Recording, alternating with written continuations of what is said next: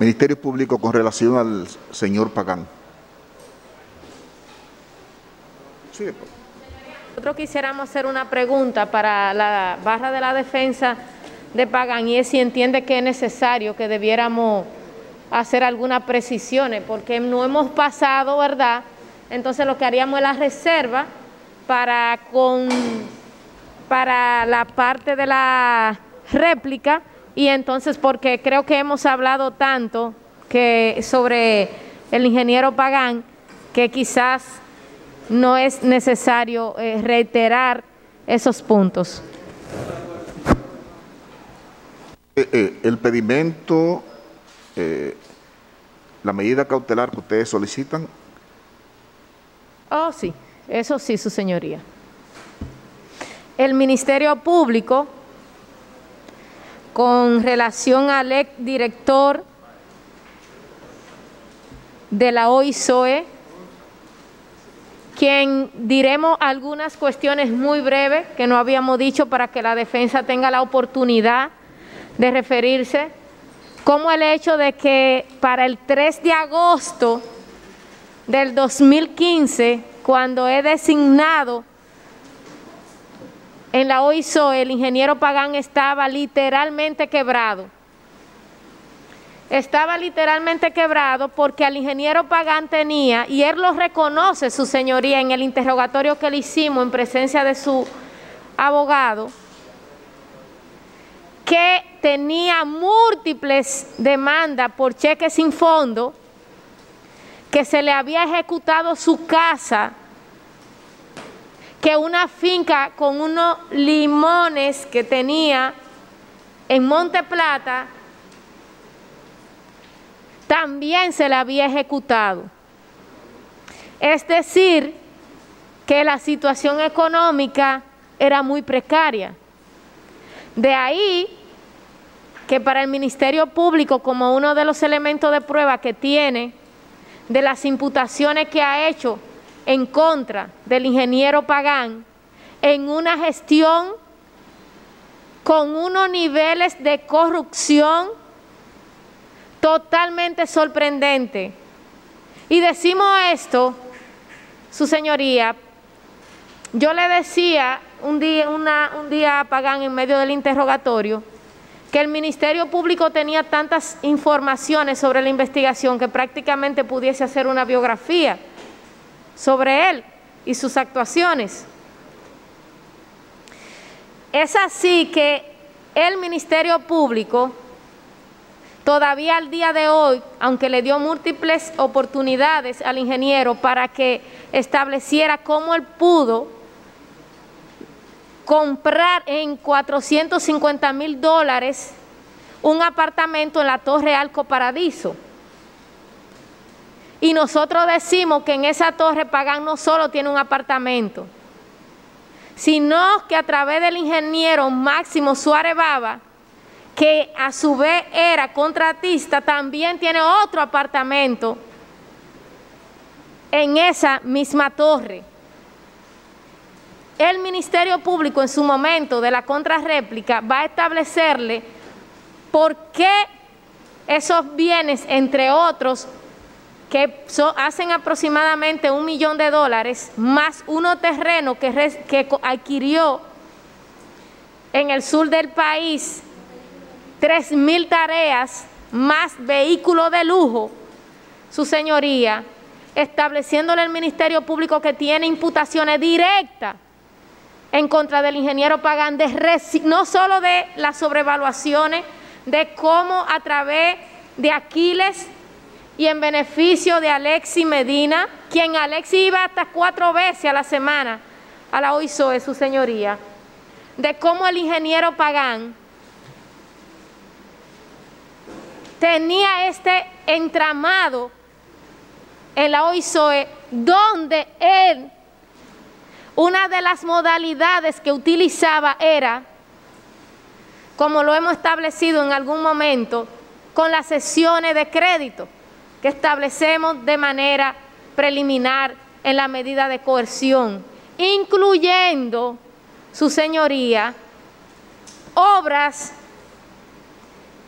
que lamentablemente, por el manejo que se le dio y por la ambición desmedida, tuvieron un impacto muy negativo en el sector salud, como es el caso del Cabral Ibae en Santiago, del Arturo Grullón, que supuestamente antes del 16 de agosto fue reinaugurado y ya se hicieron hasta virales los videos que se demuestra esas falsedades. Pero pagan también, su señoría, a pocos días de entregar su cargo, solicita en favor de Domedical sin prácticamente ningún sustento, de manera directa en Hacienda, que ese es un capítulo para otro escenario, aproximadamente mil millones de pesos en pago a dicha empresa. Está también como prueba en el proceso los informes que demuestran que realmente muchos de esos equipos no entraban no llegaron nunca a su destino. Y como quiera, Pagán autorizaba esos pagos.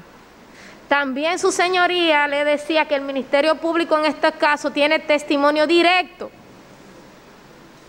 como el caso de la ex consultora jurídica del propio Pagán, quien le declara al Ministerio Público que sí, que el mismo aceptaba soborno, pero no solo aceptaba soborno, iba más lejos. Muchas de esas obras, como el caso del hospital de la provincia de Duarte, entre otros, Pagán a través de tercera persona era el verdadero dueño de la obra hay cosas que pareciesen quizá ante todo este caso sin mayor importancia, pero que la tienen, y es el hecho de que Pagán, Pagán despachaba mucho en un restaurante cercano, que era el Cantábrico. Él mismo en el interrogatorio acepta que él almorzaba ahí diario prácticamente salvo que estuviera en el interior. Ahí también su señoría él acostumbraba a almorzar con contratistas de su círculo, en los que participaban su equipo cercano y en lo que se encontraba Aquile Christopher. El ingeniero Pagán escoge a la empresa domédica de manera directa para la remodelación de los hospitales, violentando todos los procesos, diciendo que hay una supuesta urgencia cuando no existe. A pregunta del Ministerio Público en su interrogatorio, el ingeniero dice, honorable magistrado y demás parte, que era porque esa empresa era la única que tenía los equipos. Cuando nos vamos al detalle que hace el contrato, observaremos que es incierto. Pero también cuando vemos la dispensa que hace el propio Pagán que se ubiquen unos equipos que están todavía sin entrar al país, entonces era mentira que estaban esos, esos equipos en almacén. Eh, todo eso usted lo ha hablado. Entonces ya sería bueno que usted eh, concluya con relación a la medida para que ellos se refieran sí, y por eso, por eso decíamos, su señoría, que en relación a Pagán los hechos están, entendemos que más que acreditados. Y en ese sentido, el Ministerio Público procede a solicitarle prisión preventiva por 12 meses por la gravedad de los hechos, por ser la medida que garantiza que el mismo se presente a los actos del procedimiento, porque él ha hecho contacto con otras partes de este proceso, como es el caso de las personas, los señores Fuster, de quien adquirió el apartamento, tratándose, tratando de ponerse de acuerdo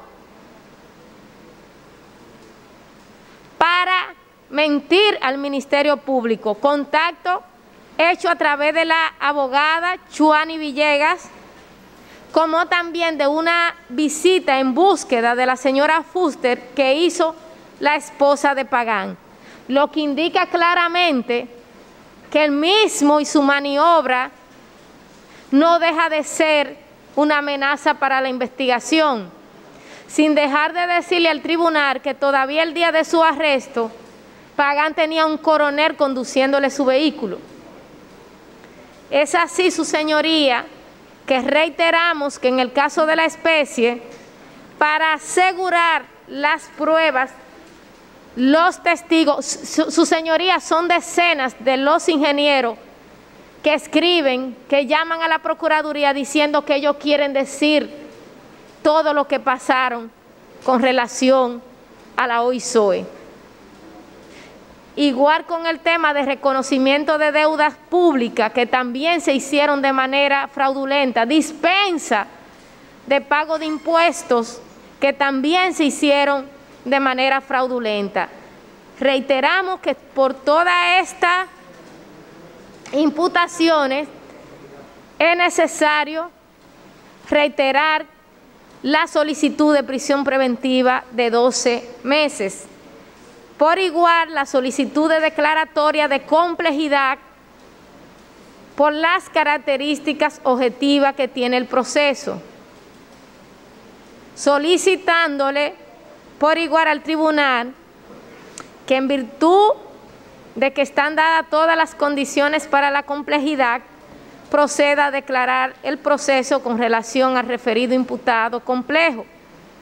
Es importante también decirle, su señoría, que de acuerdo a la propia testigo que hemos referido, la señora Lina, quien fuese la consultora jurídica de Pagán, establecía unas modalidades de maniobras que él mismo hacía y de recepción de soborno que constan en las glosas del proceso. Así como también tenemos a bien magistrado establecerle al tribunal que con relación a Pagán, el mismo estuvo tratando de que se le certificase una situación de salud que se le hiciera favorable para evadir el proceso. Por estas razones, entendemos que su responsabilidad y la gravedad de sus actos ha sido acreditada por demás con relación al Ministerio Público, no sin antes decir con relación a Pagán que el capítulo construcción está en fase de investigación y que los montos por este renglón son escalofriantes, sobre todo en las sobrevaluaciones. Bien, doctora, eh, usted solicita entonces prisión preventiva. Prisión preventiva, 12 meses a ser cumplido en el CCR San Cristóbalense, bajo reserva de réplica, honorable magistrado. Bien, gracias. Eh, eh, señor Pagán, ingeniero, si usted quiere hacer, formular algún tipo de declaración, usted puede hacerlo. El juez, eh, de lo que usted declare, no va a sacar ninguna conclusión que le perjudique. Y si usted decide guardar silencio, tampoco el juez va a decir que lo que dice el Ministerio Público es cierto porque usted está guardando silencio. Sí, su derecho a declarar es un derecho eh, constitucional, como su derecho a guardar silencio. Ah, eh, magistrado, buenas noches, muchas gracias. Eh, tengo que pararme aquí y dar alguna serie de explicaciones sobre mi comportamiento y mi conducta. Eh, el 23 de diciembre de, de 1974, yo me gradué de ingeniero. El 23 de diciembre de este año cumplo 46 años de ejercicio profesional, sin parar un solo día. Eh, todo lo que he logrado en mi vida, mis altas y mis bajas, es producto del esfuerzo diario que yo he hecho. He creado una familia, tengo cinco hijos, uno vive fuera de este país y tengo cuatro hijos aquí. Actualmente estoy casado con, Susana, mi esposa, y con ella tengo dos hijos. Tengo cinco nietos, etc. Eh, al día de hoy, esta ha sido mi vida familiar. Bien. Eh, he trabajado en varios organismos internacionales, he trabajado en proyectos privados, he trabajado como diseñador de obras hidráulicas, etcétera, al día de hoy. He sido profesor de varias universidades, entre ellas la Pucamaima de Santiago, en el Departamento de Ingeniería, también en la UAS, en el Departamento de Ingeniería, por un espacio de unos 7 o 9 años, las últimas que he trabajado, y otras universidades. Hasta ahí está mi vida profesional. He tenido varias empresas. Una era Ingeniería Hidráulica y Sanitaria, que ya hace en el año 80, más o menos, 82, yo la, la cancelé. Y formé lo que se llama la empresa Ingeniería y Construcciones Pagán y Asociados, que es la empresa que yo tengo. Esa empresa en el proceso, eh, ha realizado mucho trabajo de consultoría, de construcción, etc. Em, en el periodo que yo ocupé la posición de director general de la Oficina Supervisor, de Ingenieros Supervisores de Obras del Estado, esa empresa estuvo prácticamente, eh, no hizo ningún tipo de operación, porque paralicé las operaciones para que no vaya a haber ninguna eh, distorsión en la opinión sobre mi actitud con mi empresa. No, esa empresa estaba prácticamente cerrada, realmente. Eh, en el desarrollo, cuando entro a la OISOE en el 2015, el día 3 de agosto, 3 de agosto, de ese año, el este, señor presidente de la República de ese momento, señor licenciado Danilo Medina Sánchez, me nombra director general de la Oficina de Ingenieros Supervisores de Obra del Estado. Cuando le pregunto, cuando me invita el día 23 de julio a su despacho, 23 de julio, estamos hablando de unos 10 o 12 días antes de, hacerme la oferta de que participe en su gobierno, yo le digo que sí. Ese día 3 eh, de agosto sale el decreto de mi nombramiento. El día 6 de agosto estábamos ya haciendo evaluaciones de proyectos y comenzamos en el Cabral Ibáez, donde se envió al ingeniero Aquiles Christopher con un equipo de evaluadores a ver lo que pasaba en el hospital Cabral Ibáez. Y sí, supimos, y sí, nos dimos cuenta e hicimos un informe a los 30 días, ya teníamos una evaluación de ese proyecto. El proyecto realmente iba mal, porque el contratista tenía dificultades para el manejo del proyecto. Eso llevó a una serie de discusiones con ese contratista y nos dimos cuenta de que sus valores no se correspondían con lo que había realizado ese, el contratista de ese proyecto.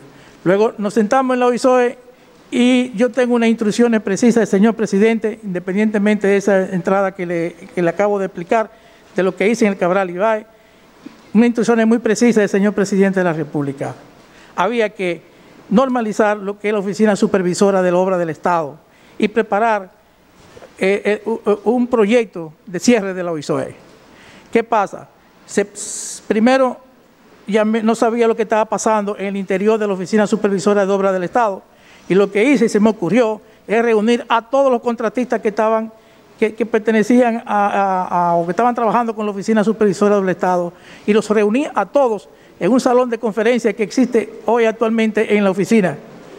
Y lo dividí en dos paquetes, en dos, grupos. Uno de 400 ingenieros y, empresarios de la construcción y otra vez, en otro día, 400 más.